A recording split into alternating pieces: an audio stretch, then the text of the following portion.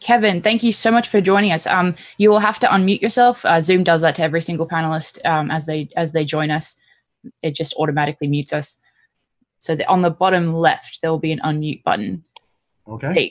Thank you so much. Thank you so much for joining us. Happy to be here. Thank you for having me on.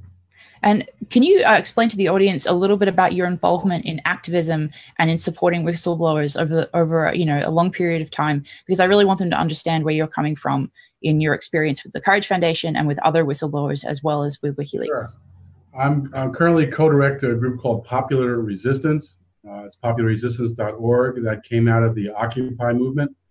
After Occupy encampments were closed, we met with a lot of different activists to decide how we keep building the movement and creating a news site for the movement uh, was what we decided would be helpful. So Popular Resistance was created a few years ago. I was on the um, steering committee of the Chelsea Manning Support Network almost since the day she was arrested and involved in that campaign. I've written a good deal about uh, Julian Assange and WikiLeaks, and as well as other whistleblowers. And I serve on the board of the Courage Foundation. I've been an activist uh, since uh, law school. I graduated from George Washington University in 1980 uh, during the Reagan era. And I was, while they were saying just say no and war on drugs, I was urging legalization of marijuana and ending mass incarceration and uh, using a harm reduction public health approach to dealing with drugs. I've worked on that issue. I still work on that issue, but I've, I've worked on a wide variety of other issues since then. Uh, including creating a new economy uh, where people have more control over uh, their own personal income as well as influence over the broader economy, where we're working to end racial injustice, which is very big. I'm in Baltimore. Uh, Baltimore is a racially divided city with a very aggressive police force and uh, 10, more than 10,000 abandoned homes in the poorer communities, which are the black community.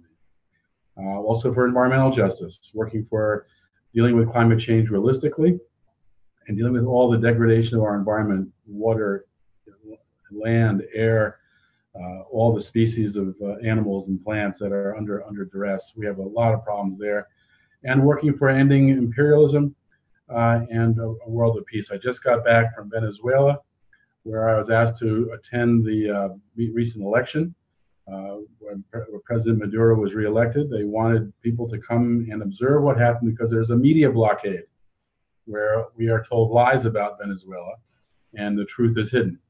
And uh, I think so much of activist work is about, it begins with unveiling the truth, breaking through the propaganda and false information and uh, letting people know what, the, what really is going on.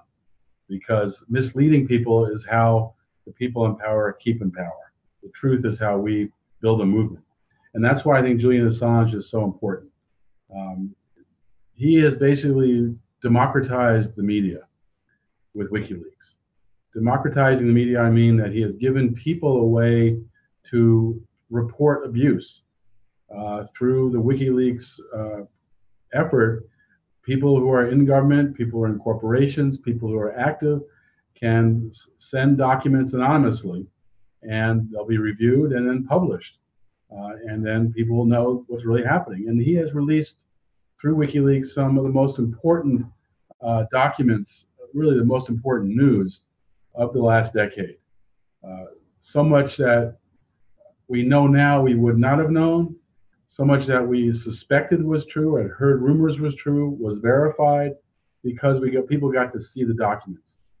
And the democratization of media uh, is such a critical component now, I think, in this 21st century, where the ability of the mainstream media to manipulate this, the truth, uh, to tell their version of uh, what's happening, even if it's not consistent with reality, is more powerful with the internet, with the ability to monitor us on uh, our internet activities and gather data about us and know our concerns and our uh, issues, they can manipulate us more easily. And so it's more important than ever for activists to be involved in the battle for the narrative, the battle control of media.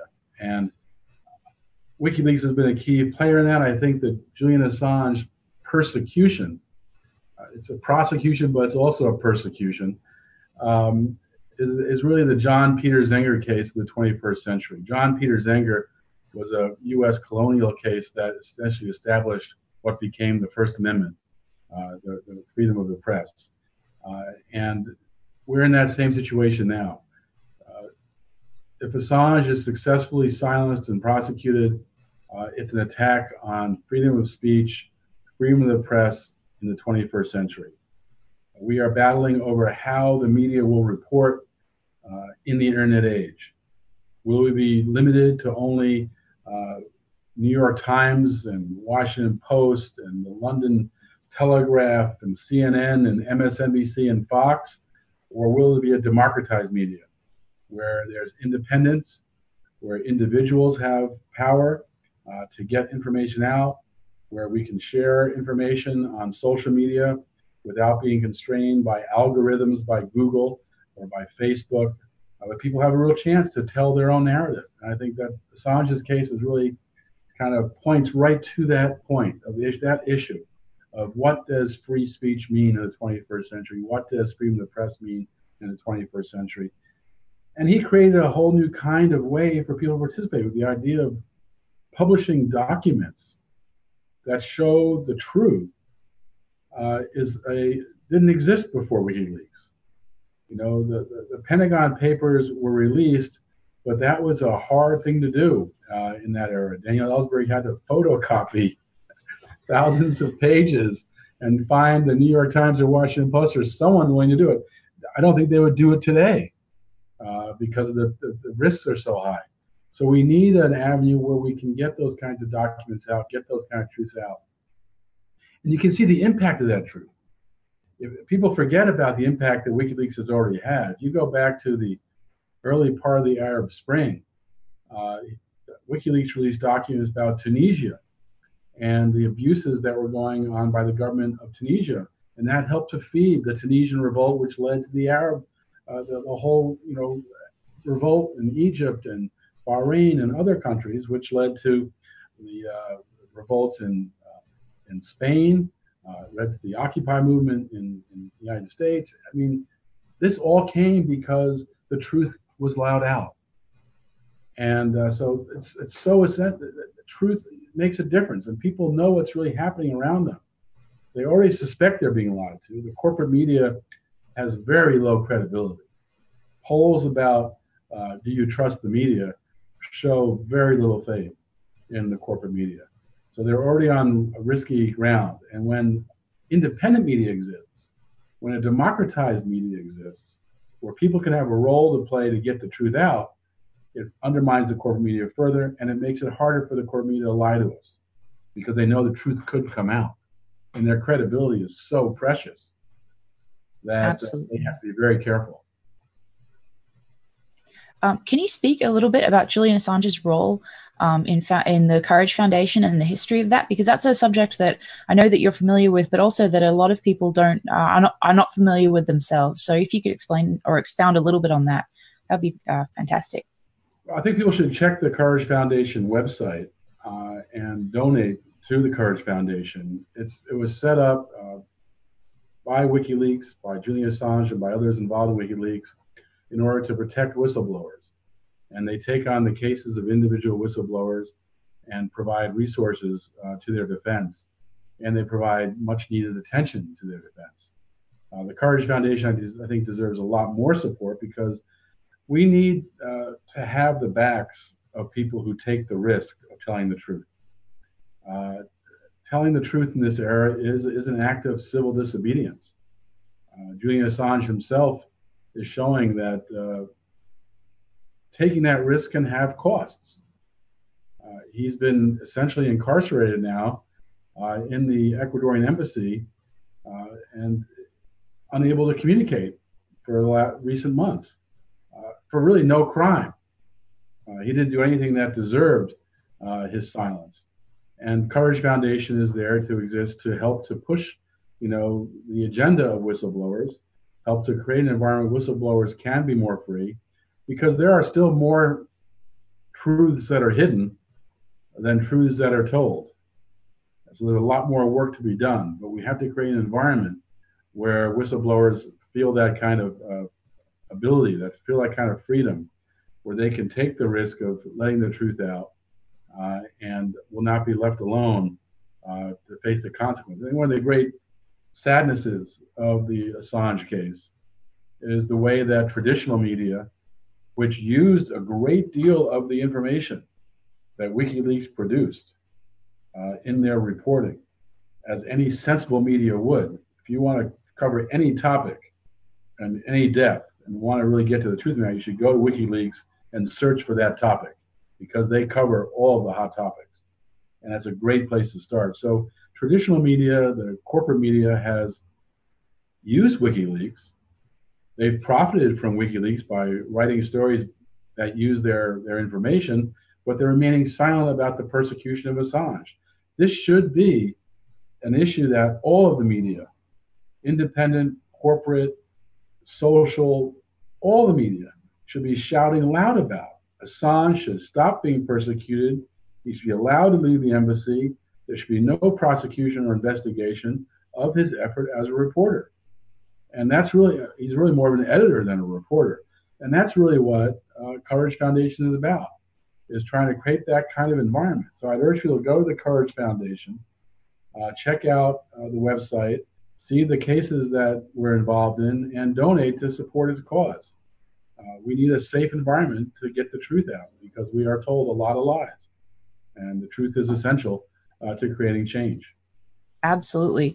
Um, and, and, and in moving on from that, um, a very similar question is uh, I know that a lot of people are unaware of the, the way in which Julian Assange has repeatedly stood up for whistleblowers. I mean, advocated for their, for uh, whistleblowers when they have been uh, persecuted. So, could you, um, reiterate to our audience a little bit about uh, WikiLeaks support for whistleblowers, their advocation, uh, their advocacy for Chelsea Manning, and some other history that is, as you as you said, not reported by the media and not reported accurately, and and also Edward Snowden. We I talked about this uh, yesterday with Kieran O'Reilly that people don't know the role that uh, Julian Assange, WikiLeaks, and Sarah Harrison played in saving Edward Snowden. So if you could speak on any of that, that would be great for our audience to hear. Sarah Harris deserves a lot more uh, attention and applause for the work that she's done to support Assange, WikiLeaks, and Snowden.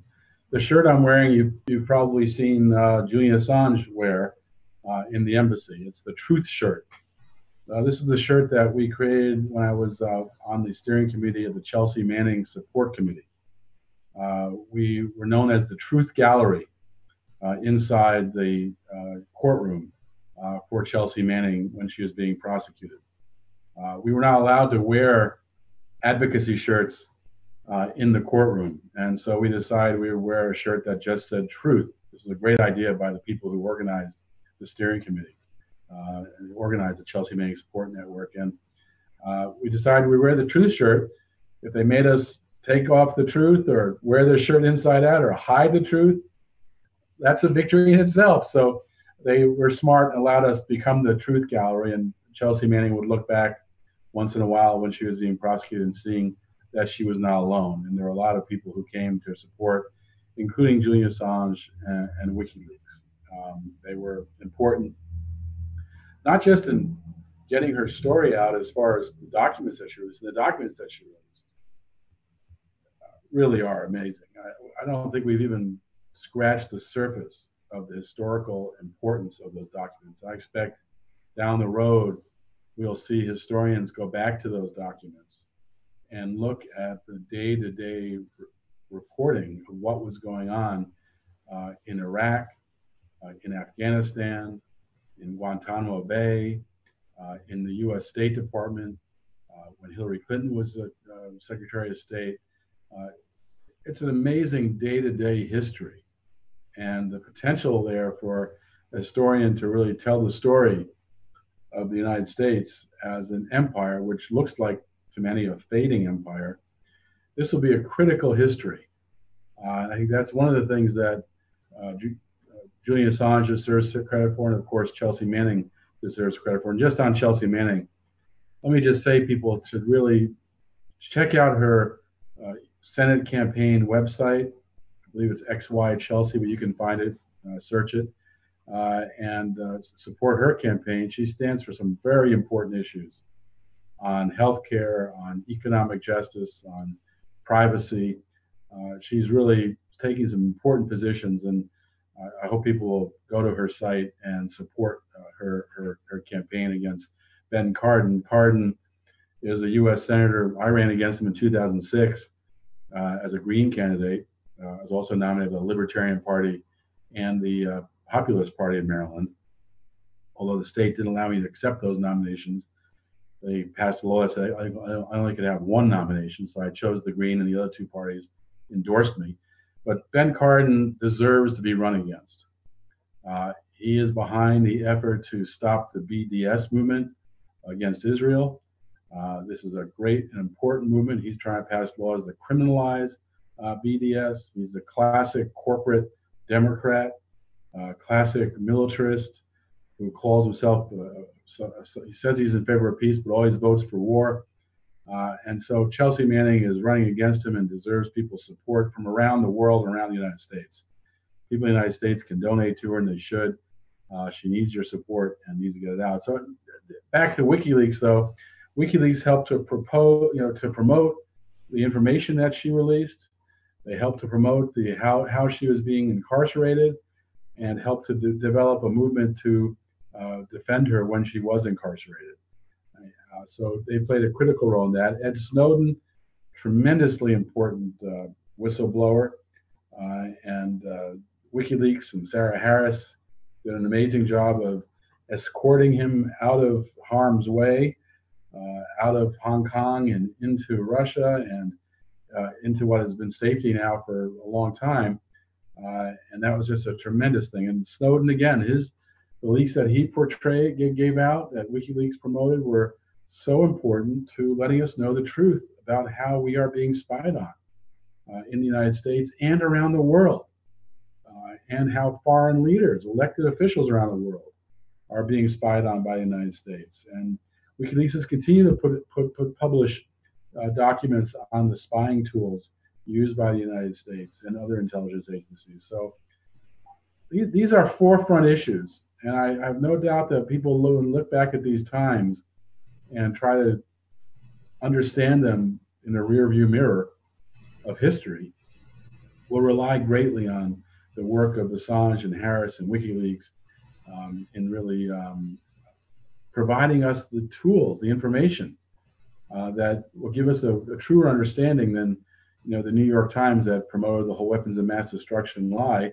and helped us get into the Iraq War and promotes all sorts of falsehoods about Venezuela uh, and, and, other countries where the U.S. is in, in looking to toward uh, uh, challenges and potential military conflicts. We need independent, democratized media, and that's why we need Julian Assange to be released. Uh, he needs to be able to communicate uh, through the internet. He needs to be able to continue to do his work to WikiLeaks, and they need to stop any threats of prosecution and persecution the whole story about the Swedish charges. Uh, it's just when you look at it, it's just an absurdity. Well, there there weren't ever, ever charges, but that, the That's allegations, right. the investigation, yes. And it, there were enough to hold him uh, in, you know, threat of being sent to Sweden. And you know, three prosecutors rejected pursuing the charges. They found one prosecutor finally willing to investigate it and that caused that really became the source of this. Of course, Sweden is a very close military ally, as is the UK, of the United States, and this was always a conspiracy to silence Julian Assange because he was doing something very simple.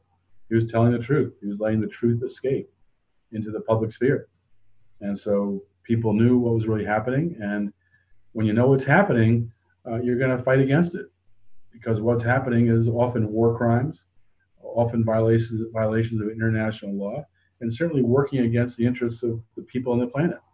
And so that's why he's being persecuted, and that's why he needs to be stopped being persecuted. And that's why all of the media needs to be clamoring for his freedom and for the end of this kind of persecution of Assange. Absolutely, and when you mention uh, the legacy uh, media outlets like the New York Times, you know, using WikiLeaks information and then advocating basically for his persecution, um, it, it's completely horrifying to see that and so hypocritical. But then, uh, in addition to legacy press, though, we have an independent media sort of niche growing, which would not be able to exist without WikiLeaks and its documents. And and I think that so the impact, as you've said, the impact is absolutely unimaginable. If we hadn't had WikiLeaks, the entire world, the landscape of history would have been completely different, and just the incredibly. Arab Spring may not have even been, and uh, who knows what would have happened in Iraq uh, and Afghanistan. Uh, these, uh, as the truth gets out, that changes the course of history, and it really undermines U.S. empire. Who, you know, the, look at look at the importance of the documents on Hillary Clinton when she was Secretary of State. She told her diplomats in the United States to spy on diplomats coming to the United Nations. She actually signed off on spy on these people. Uh, it was it's amazing, and that's a criminal offense. Exactly. And she was doing that, and, and you know, so that needed to be exposed, and and so did the exposure around the 2016 election. We know as much as the uh, people who uh, upset that Hillary Clinton lost hate to admit it. Hillary Clinton was exposed, uh, and not because uh, she was exposed because of who she was. As she said in one of the emails that was exposed, she's a two-faced person. She says one thing in private and nothing in public. Well, the only thing we know the truth is if someone's going to expose it then. So that makes the, when you have politicians like Hillary Clinton, you need a WikiLeaks uh, to get the truth out. And so tremendous impact and tremendous importance. And, and that's why he's being persecuted the way he is, because what he's done has had an impact on the direction of the United States and direction of the world absolutely. And the the content of those documents as you're as you're saying is so damning that that's why we see this massive uh, uh, effort to smear julian assange and distract and deflect from that content. Because uh, as we were talking about last night you know you have people like chris cuomo on cnn saying don't look at these documents. It's illegal to do so. I mean the desperation of media in trying to get people to look away from that information is almost hilarious at some stages. But. It was a very funny thing during the Chelsea Manning trial. Um, the defense had sent uh, introduced put in a motion. I can't remember what it was about, but the motion talked about WikiLeaks, and um, for some reason the prosecution never responded. It came up in court and it was discussed, and the prosecutor said they didn't see it because they weren't allowed to look at things that said WikiLeaks. Can you believe that? No, that's incredible. That crazy. It's insane. You're not allowed to see the, the word WikiLeaks, or it's just wow, bizarro, bizarro world. And and you know we I've seen so many times of uh, people in the government telling their staff they're not allowed to go to WikiLeaks website, not allowed to look at WikiLeaks documents. The truth is that frightening. I mean, unbelievable. Never been caught in a lie. And how could it be? All they do is release documents. You know, that's they, they and, and put bullet points, but and summarize the documents. You know, so they're not in the business of creating, uh, you know, writing the news, uh, taking a White House press release as the you know some papers do, and publishing as if it's news. Uh, they they actually publish real documents uh, that tell the truth. So they've never been caught in a lie, and yet they're people who work in government, people who are told not to read WikiLeaks. The truth is just too scary. They just can't handle the truth. It's just, it's sadly, embarrassingly funny, uh, but it's reality. Absolutely. And I know that, uh, and we know that there have been huge attempts to shut down WikiLeaks' ability to verify and publish those documents. Uh, I believe there was a PowerPoint published that showed that they were going to try to submit false documents in order to discredit WikiLeaks. And um, I think it's really um, to their credit that they've been able to verify accurately and dismiss any sort of fault for all of these years and that retain that 100% accuracy record. That's a very unprecedented. Because any, any any movement, and I consider WikiLeaks kind of a movement. It's a movement for democratized media.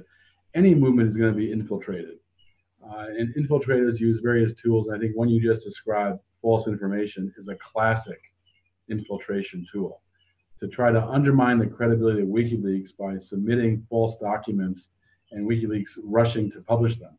But WikiLeaks doesn't rush to publish them. They actually do verify, uh, and that's not an easy task.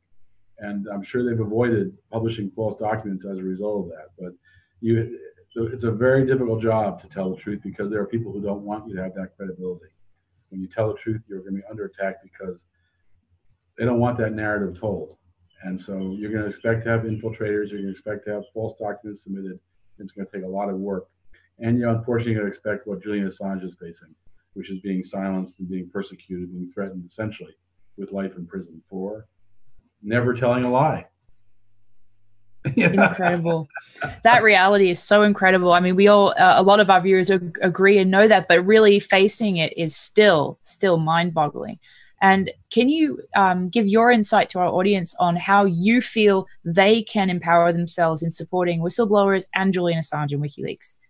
Great point. Great question. I mean i think what we're seeing right now is the media is uh, becoming a activism battleground uh, there's a real fight going on. You've seen all this kind of uh, uh, attempts by Google to suppress uh, left progressive websites. You see it in Facebook trying to control what media people see.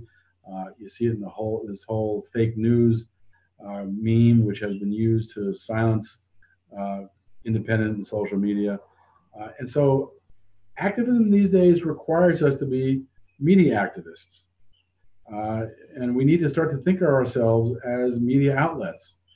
Uh, it wasn't, you know, possible uh, 20 years ago, 15 years ago, for people to have, you know, thousands of people following them uh, in, in the media. I mean, there are people who now, activists who now have followers on uh, Twitter, Facebook, and social media and other forums that are the size of a small newspaper or even the size of a, a, a small uh, TV news show. Uh, and, and, and so I think if we can figure out how to use that new power in an effective way, uh, we can overwhelm uh, the mainstream corporate media. Uh, and so I think we need to, we haven't figured out how to do this yet. I think some are doing it, it's kind of happening organically in that people share stories uh, with intention uh, and I think if we kind of can find ways to better coordinate our efforts, we can do that. Now, WikiLeaks is a basically a source of news for us. Uh, and so they put out material, and then we have our own media outlets, our own social media, our own websites, our own ability to write independent media stories that get published. People have democratized media means people play a role. And so you, you, you need to take on that responsibility. Um, I have no doubt that when we do so, we have a greater influence than cable TV news does. Yeah, definitely. yeah. the show. I was just going to say they, um, as uh, you have whistleblowers and um, individuals on social media gaining thousands and thousands of followers, as you said, at uh, the size of small uh, small newspapers, you also see the cable news and the legacy press really falling down in ratings and viewership. Um, exactly. Do you think that that's? Um, I know that a lot of that is is from just the rise of the internet age, but do you think that WikiLeaks has also played a role in revealing how corrupt and hypocritical the media is itself and its role in the unelected power structure? That's a really good point. I mean, I think as more truth is told, the credibility of the corporate media, the traditional mainstream media, is undermined. They can't get away with telling falsehoods uh, when there's other sources telling truthhoods. uh, and WikiLeaks is a source for that information. And uh, I was going to also add to that point about our role as a democratized media. We need to think of ourselves as a democratized media and take that responsibility on. Uh, our role, I think, research is already starting to show. There was a study done by a Harvard uh, researchers that looked at the impact of independent media. And they found that when independent media takes on a story, various independent media outlets tell the story, and it's echoed, that it changes public opinion. Uh, I suspect we are just scratching the surface of that potential. And I suspect also that the uh, power holders, the people in power, uh, know that. And that's why we're seeing the attack on net neutrality. That's an issue we're very involved in. I would urge people to uh, check out our net neutrality campaign on popular resistance, get involved and protect our internet uh, because we're in a big fight right now uh, to preserve net neutrality, which is also about democratized media. Um, that's why they're fighting back on the algorithm, the algorithms with search functions, with going after Facebook, sharing social media, uh, with Twitter blocking uh, some feeds when they don't like what's being said. Uh, this is a, this is a conflict. Uh, this is there's, there's, the history is constantly the battle between people power and the power holders, and uh, people power uh, needs to constantly grow and get organized. And there are multiple fronts of struggle that we're fighting on. We're fighting on economic inequality fighting on racial disparity, we're fighting on environmental injustice, wars, uh, imperialism. Uh, but one of the big fronts of struggle is media. And we are on the, on the beginning era, and WikiLeaks deserves credit for really being one of the key uh, parts of this new era of democratized media. And we're at the beginning stage of that. I don't think we've even understood yet uh, the potential of our power. Uh, and so I, urge uh, individuals uh, to work with other people in their communities, coordinate uh, their social media and independent media. I urge organizations. We're trying to do it at Popular Resistance. We can do it better. We, we want to do it better. Uh, we're trying to do it at Popular Resistance.org to get people working together in a coordinated way to really um, um, you know, put forward a democratized media message so that uh, the conflict between people power and the power holders uh, gradually moves to people power getting stronger. And that, we see that happening, by the way. You know, uh, we're, we're right now in the midst of a, uh, a school on popular resistance. You can, on popular resistance on the top banner is a label called school. Uh, we're going through eight classes. I think we're in the sixth class right now on social movements and how they develop and how they win. And there there's a real urge. People want to know what they can do to be successful and be impactful as activists. And there's a lot we can do. We see the movement growing tremendously. Uh, there's a research that shows that if 3.5% uh, of the population gets mobilized on issues where there's a national consensus, the movement always wins. Always. Over the last hundred years, looking at social movements, 3.5% active on a, a, area of national consensus. The movement has always won, dictatorship or democracy. Doesn't matter what kind of government. The people have won in those situations. They win with less than 3.5%. You can win with 1%, but at 3.5%, they always win. And think about the power of it. I mean, people might remember the Occupy movement, how it made everyone so nervous in the power structure. There was the FBI and Homeland Security were having regular conference calls with police departments around the country. What are we going to do about Occupy these encampments? Uh, we looked at that at the time. That was only one tenth of one percent of the population active. Wow. One tenth of one percent. So you can imagine. We think we're at about one percent now. When you look at the various pipeline battles, when you look at the Black Lives Matter, the fight for fair wages, the fight against uh, this whole debt generation that's in leaving school with massive debt. All these various fronts of struggle. We have about one percent of the public is active now. So we've gone, we've grown a good, even though it doesn't, you know, have the, the we're not all concentrated like we were during Occupy. It's now spread over a lot of different issues, but the movement is growing. And uh, and so I think if we are able to keep that movement informed about the truth about what's going on, that's what WikiLeaks is so important. They're key key tool for getting the truth out. If we can keep that movement informed about what's really going on, we see the 2020s as a tremendous opportunity for real transformational change. There are so many issues that the uh, governments are either neglecting, uh, lying about, or mishandling that are crisis issues poverty and homelessness, war and uh, healthcare, uh, racism, the climate change. These are crisis issues that are being mishandled or ignored. And so that they're going to come to a peak in the 2020s at the same time that this movement, which began in the, say, the Occupy area with a takeoff of one tenth of 1%, now is 1% mobilized. We see it continuing to grow. And the key to grow, one of the key parts of growth is people knowing the truth. Uh, because we are told a lot of lies, uh, you know, about so many issues often you can look at the name of a law and it's usually the opposite of what's uh, take the Patriot Act. It should be called Very the amazing point. Anti-Patriot Act. you know, uh, you can go almost almost any law and and say Affordable Care Act. No, no, it's the Unaffordable Care Act that avoided the real solution, which was national improved Medicare for all. So, uh, so getting that truth out is fundamental to building the movement. Uh, once people have a foundation of knowledge and can tell truth from fiction, then they can organize in their communities. Then the movement grows. We're in this phase right now of movement development that's called the um, national consensus phase. It's the phase before victory. There's, there's a history of movements called the that describes the eight stages of successful social movements. Stage four is the takeoff. That would be Occupy. Stage six is the, the stage we're in right now. Stage seven is success. Stage six is the movement where you develop national consensus. And you can see that developing. You can look at polls on, uh, on, on climate change, on health, on single payer health care, on net neutrality, on all these. We have 65, 75, up to 90% support on these kinds of issues. And you're seeing different kinds of people getting involved. It's across partisan too. Some of these issues go across, like net neutrality. You have more than 80% support for net neutrality among Republicans.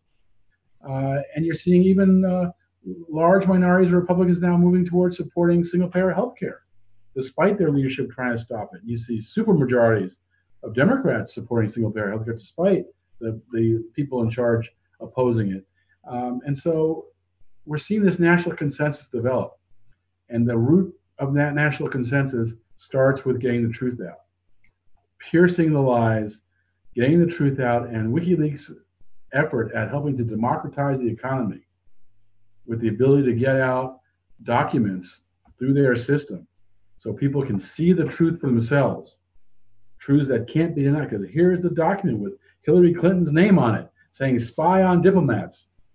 You know, here's a document that shows uh, the video that shows the collateral damage murder uh, in Iraq. You know, you have here's the documents that show what was going on in Guantanamo Bay when three people were suddenly killed or died. They were they, they were supposedly suffocated themselves, but obviously the facts are they didn't. Uh, and, and and so these truths get out, and that's how you develop that national consensus that breaks through the corporate mainstream media barrage of falsehoods and lets the truth be told, lets people understand, let them share among their networks through their social media so that we overtake the narrative and the movement becomes a people powered movement that's more powerful than power holders and create a political climate where it doesn't matter who's in office because the political climate demands that people in power do what the what the people organized people want. And we've seen that before in history. Uh, you know, we saw the civil rights movement, the Dixiecrats, the Southern Democrats were overwhelmed by the civil rights movement. That they had no, the Democrat Party had no no choice but to support civil rights laws. We saw it in the Nixon era, uh, where he had to create the Environmental Protection Agency. He had to help to pass the National Environmental uh, Policy Act, NEPA.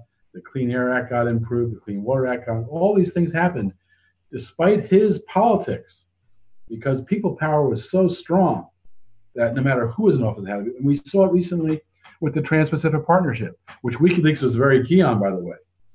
They yeah, really, please tell us about that. Please, please expound on that because that's a really important issue. Absolutely. Yeah, we, we, we were very involved in a campaign to stop the Trans-Pacific Partnership and working with lots of other organizations to do so. This was a, people might remember, it's, it's, it's been a while now, but at the beginning of our campaign, the, the TPP, the Trans-Pacific Partnership, was a secret agreement being negotiated in secret with 600 corporate advisors, transnational corporate advisors, helping to write it in secret.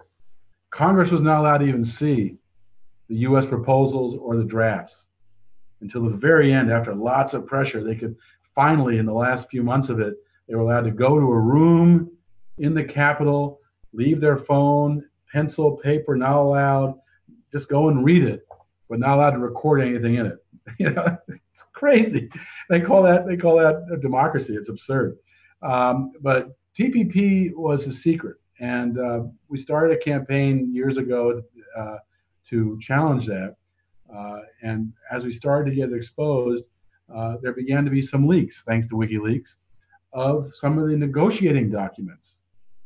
And uh, we got to see the positions of U.S. negotiators, which were, of course, not something they wanted us to see.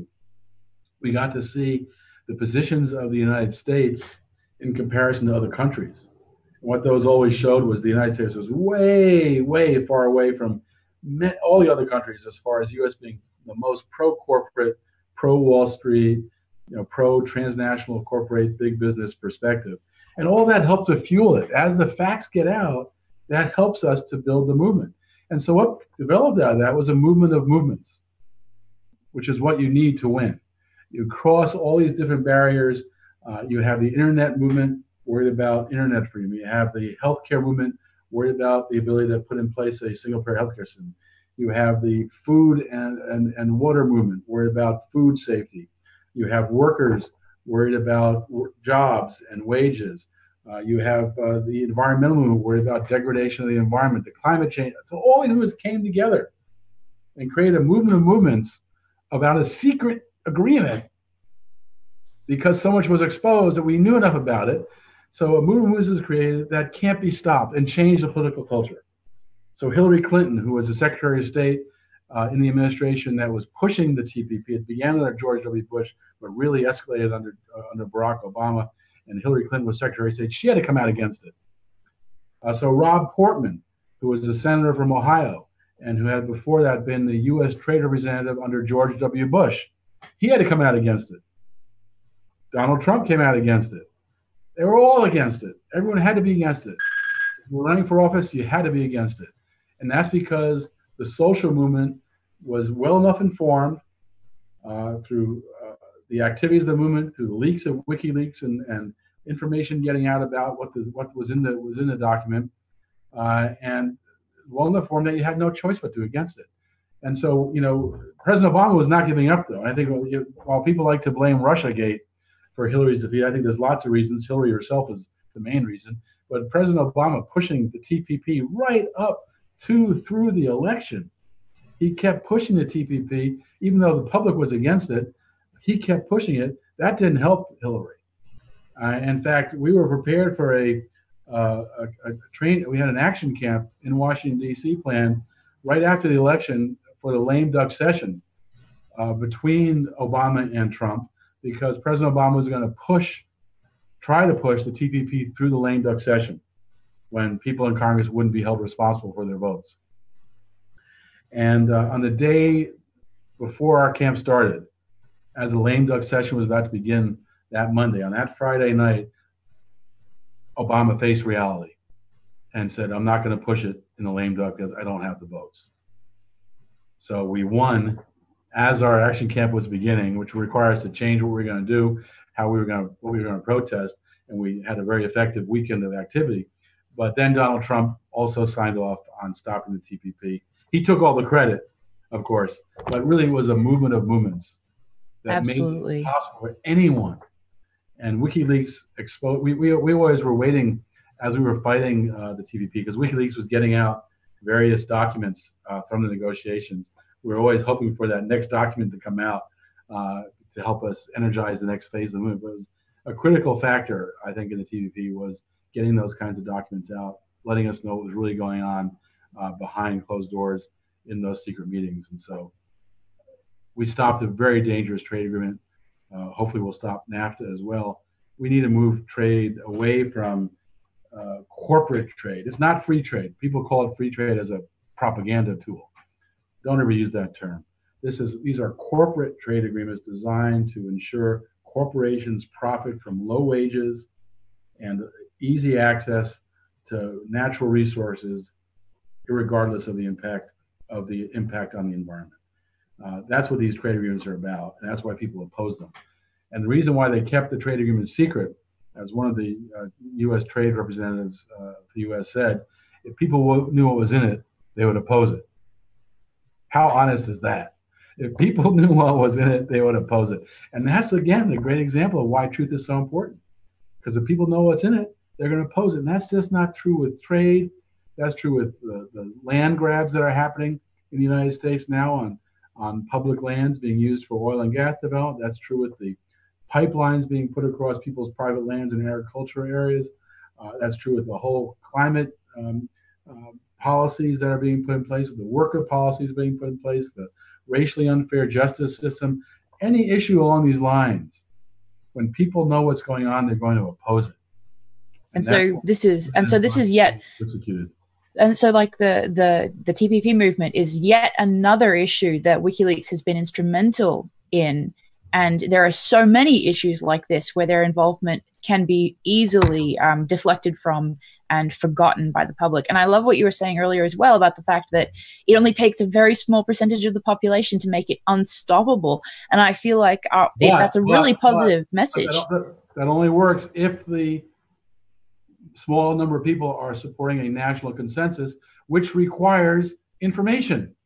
Exactly. People need to be educated to develop that national consensus. Then a small percentage of people can be active and force the change to happen. But the, the foundational issue is honest information, is the truth, is education. And so democratizing the media the way WikiLeaks has done is essential for transformational change. Without it, it doesn't happen.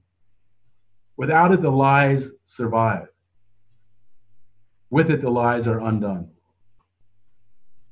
Absolutely. So extremely true. And and I think that um, in supporting WikiLeaks, I feel that our viewers should absolutely understand that their involvement in democratizing the media, as you were saying earlier, we are all individually part of that effort, and that their voices are effective and tangibly make a difference in all of these issues. You know, the movement of movements that you're that you're speaking about. And I wanted to just ask. Uh, we have about ten minutes left in this segment. I wanted to ask about um, your personal um, evolution in how you became an activist. What what woke you up uh, so to speak, in you know, and and led you on the path of being such a, a voice for uh, truth in, in, in and the democratization of media? That's a great question. I mean, um, I've been awoken many times in my life, so it's not just one event. I continue to be awakened these days. I'm, we're always learning more. What initially got me involved in activism uh, in, a, in a more than just as a high school kid going to protests, which I did that too. Uh, I went in college. My first protest was an anti-racist protest in Boston during integration, and that was the first time I ever played a role beyond just being a someone at a protest. I was actually put in security, which put me on the front lines of the protest, which meant that was the first and only time I was attacked by police on horseback. Horses are pretty big, so that was that, that was but that was before my awakening. My my awakening really happened when I was in law school. I planned on going to law school to be a criminal defense lawyer. Uh, constitutional law was my interest, and fighting for people's rights was my was my hope as a career. And uh, I was uh, put into uh, an internship at NORML, the National Organization for the Reform of Marijuana Laws. I ended up becoming their national director and chief counsel after I graduated. But as my intern phase, I um, uh, my first job was responding to mail from prisoners and their families, and that was a great lesson uh, to read the stories. And it was often racially unfair, of course. Our system of racial injustice has existed since the founding of the country, but has really escalated uh, as the civil rights movement grew and uh, African Americans got more rights. We also saw the prison population grow, uh, almost as a counter reaction uh, to civil rights being provided. But my awakening of uh, reading um, letters from prisoners and their families committed me to uh, trying to end mass incarceration and end the drug war and end the prosecution of people for uh, consuming marijuana. And that continues as a project I continue to work on. Um, and uh, it's one of many projects that we, issues that we, fronts of struggle that we work on. That, that's one of them my my eyes got more awoken um, in the Clinton era when Bill Clinton was president, uh, and I saw him um, you know, ending welfare for people who need it, people who are desperately in poverty. I saw him putting in place these corporate trade agreements. He was the author of NAFTA. Uh, he also undermined regulation of big finance. He also put a general in charge of the drug war, which is crazy. It's a health problem. You put a general in charge of it. So that the Clinton era was an awakening for me and many others. I see a lot of people uh, who left the two-party uh, system, the corporate duopoly, uh, during the Clinton era.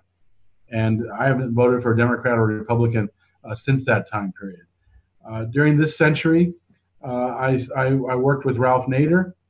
I was Ralph Nader's spokesperson in 2004, his press secretary, and that was a lesson in itself and an awakening as well. That was the second time that I was in an office that was receiving death, death threats. 2004, Ralph was at his most unpopular because of the false accusations of 2000 that uh, he, he was the reason why Bush was president, when in fact the reason why Bush was president was Gore. I mean, Gore was a terrible candidate. Uh, millions of Democrats voted for Bush in Florida, and that's why Gore was president. Uh, Gore lost the presidency uh, to Bush, but Nader was blamed. We got death threats. We also got death threats when I was at NORML. Those are the two times in my life where I've gotten, I've been involved in uh, work that results in death threats. But Nader was a great example of standing up to the power structure and the false media narrative. Uh, we had there was constant fight of falsehoods, uh, and so I started to see there uh, the importance of having an ability to combat uh, the corporate media, uh, which is filled with lies. And of course, that became also very evident during the Iraq War, uh, when essentially the New York Times was publishing Dick Cheney's press releases with the false claims of weapons of mass destruction as if they were news. You know, they publish it on a Sunday. Dick Cheney would go on to meet the press and refer to the New York Times as if it was fact when it was just his press release. Uh, and so, as you get more involved in these kind this kind of work, you see that the, the foundational issue is the ability to get the truth out. Uh, and that's why Assange was so strategic. I don't know how I, have never discussed it with him. I've never talked to him, uh, so I don't know whether how, how, conscious he was of what he was doing.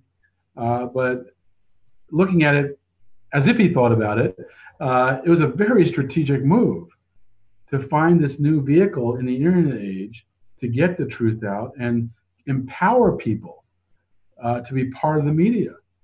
Uh, and for that to come at the same time that social media developed, it became a, a source for a tool for us you know, if you you, you, you can you can't be a, a successful social media advocate if you're going to put out false information, because you have no credibility either. And so we need places like WikiLeaks and the documents they put out to provide us the tools, the ammunition uh, to get the truth out. That collateral murder video that Chelsea Manning released through WikiLeaks had a tremendous impact on people's understanding of how the U.S. operates uh, and was committing war crimes uh, during the Iraq War tremendous impact. That had more impact than uh, you know years of reporting by all, all the corporate media sources. Uh, even if they were critical of the uh, Iraq War, seeing that video, seeing those documents uh, that show what was going on every day in Iraq had much more impact. So my awakening, my awakening has been constant and continues to be. I'm always looking to be awakened by others. Thank you so much so so much for being with us and sharing your time and your insights with us and describing to us the the just irreplaceable nature of WikiLeaks and how they've democratized the media and the truth. Thank you so much, and their advocacy for whistleblowers, of course. Well, thank you. Thanks for having me on. Thank you for being part organizing this. I think it's so essential. We'll be doing an event at the White House on the anniversary of uh, Assange going into the Ecuadorian embassy on June 19th. Uh, we'll be doing an event outside the White House that day. People should keep that in mind. It'll be at 11 o'clock on June 19th. So keep that in mind as a date to participate in standing up for Julian. That is a fantastic point, and I will definitely make sure to get out uh, to to make sure we broadcast the information on that. If you want to send us some links, we can put in the chat after after we uh, get off air. That would be fantastic, and I'll do that. All right. Appreciate it.